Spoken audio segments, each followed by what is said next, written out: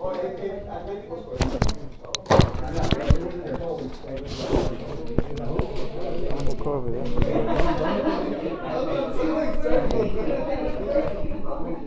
if you stand your seats. IBA.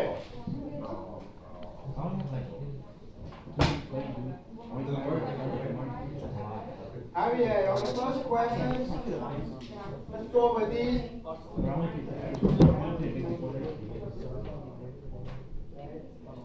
IBA, the distance between the two farthest vertex, what is that called? How about the distance between the two nearer vertex? Okay? Thank you. And the distance between the focus and the farthest vertex? Yep, focus and nearest vertex? And how about this, how about this two? Okay. Thank you. Uh-huh. Next one is Diego. What's up? Diego. Number one point two. I didn't do that. Uh-huh. Can you read off the statement and then figure which one best fits into that statement? The path of the planets about the sun is Is what?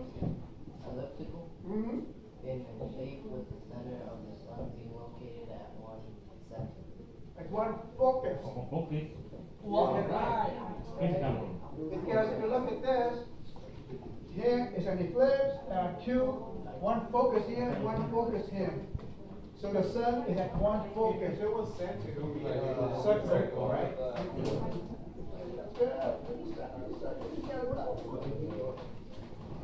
One, one, three, and that would be George. Can you read out the question, one, one, three, and give me the answers? Yeah, if a baseball, How, uh, if a baseball and a cannonball are dropped from the same height at the same time the ball would hit, hit the ground first, disregard every same time.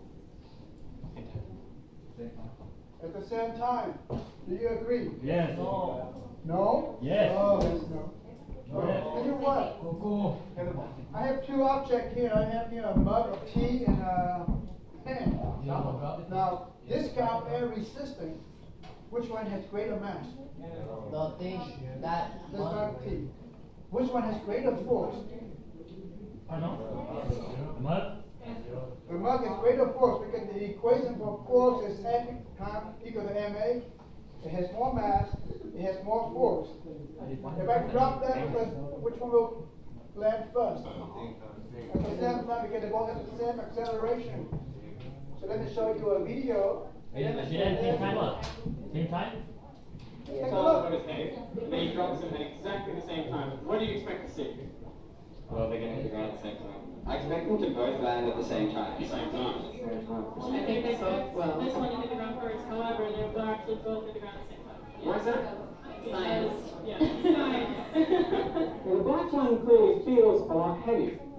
So the standard misconception is to believe that the black ball will accelerate at a greater rate and reach the ground first.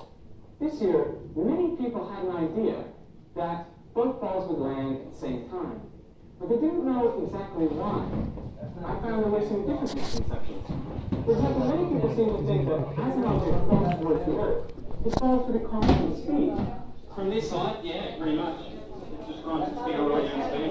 Yeah, I think it'll be the same constant speed. I think it's constant. I seem to remember these also. I did easily I seem to remember light speed. Whereas the truth is, the speed of both balls is changing all the time. The balls are speeding up as they go towards the ground. That's what the force of gravity does on them. It makes them accelerate. It gets them to speed up.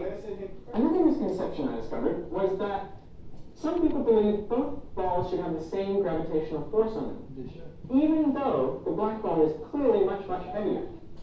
The reason I think they said this was because they knew both balls needed to reach the ground at the same time, so they reasoned that the force on them must be the same.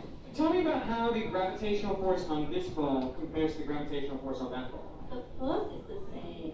It's very, very similar in terms of gravitational pull are the same and they fall at the same rate. I don't know, like Einstein, but same gravitational force around the whole world, right? Because the gravitational pull on the earth is the same on both objects. Are you saying that the force on them is the same? The pull is the same. But you felt the pull and you told me the pull is different. No, I said the weight is different, I said the pull is different. Wait a second. I has no gravitational pull. But when I drop them, then they get equal with gravitational pull somehow. Don't you think it's gonna be like five times as much?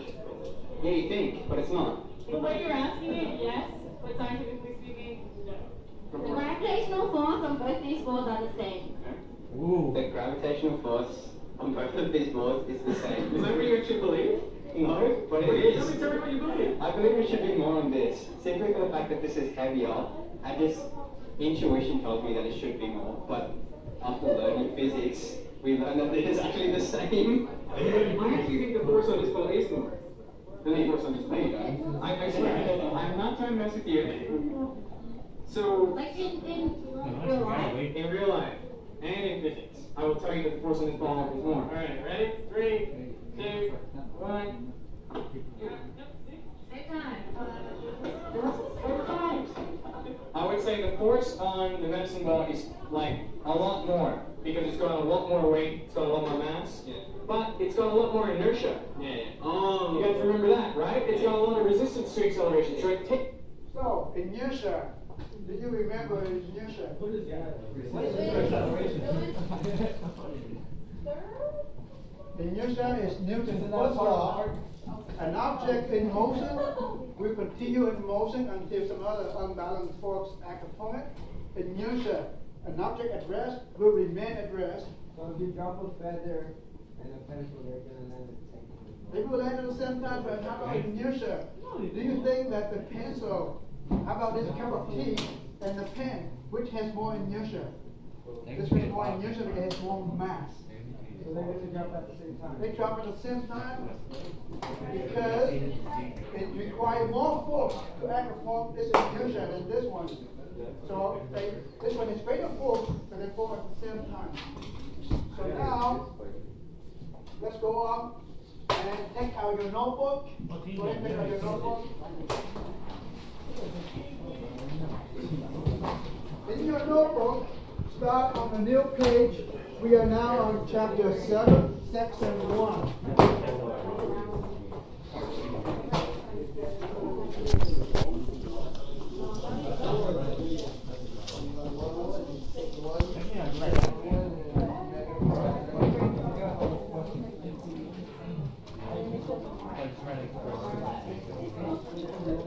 This is where we are, chapter 7, section 1.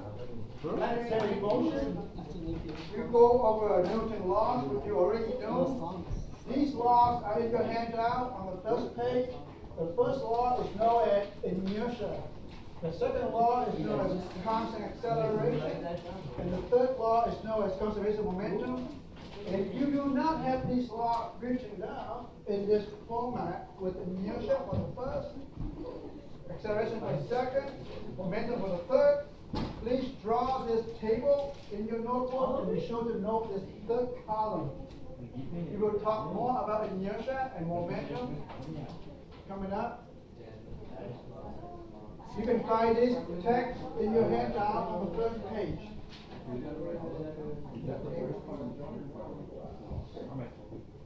Okay? Most of you probably have this law already written down in your notebook. If not, do it again, but you can find them in your handout as well. So right here on the back page.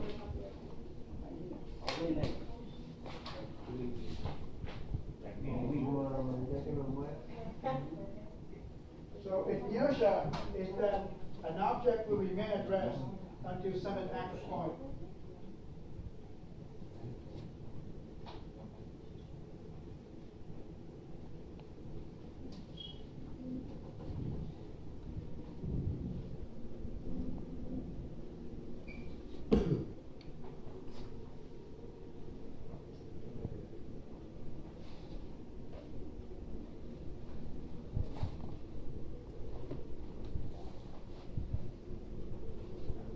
If you need more time, you can copy out these texts from the handout in front of you.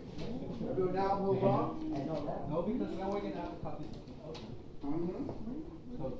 Well, I'm, I'm sure you are very good at multitasking, you can do many things at the same time.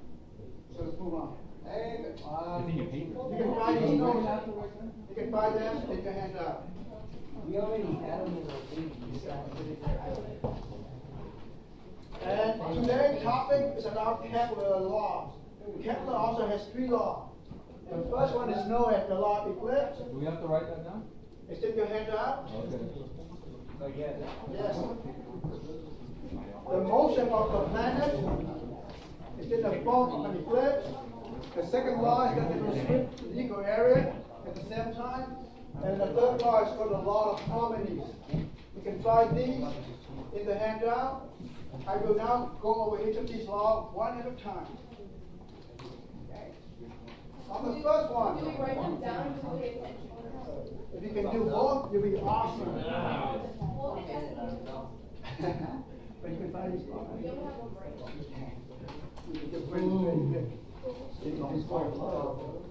So let's start with the first law. Please write down the first law in your notebook, and then I will explain them to you on the first one. On the first law, it says that the orbit of the planet is in the form of an ellipse.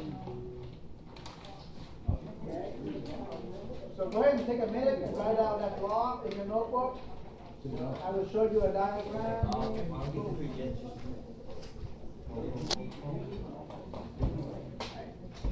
And write out the first law. The planet orbit is in the form of an ellipse. Those are the.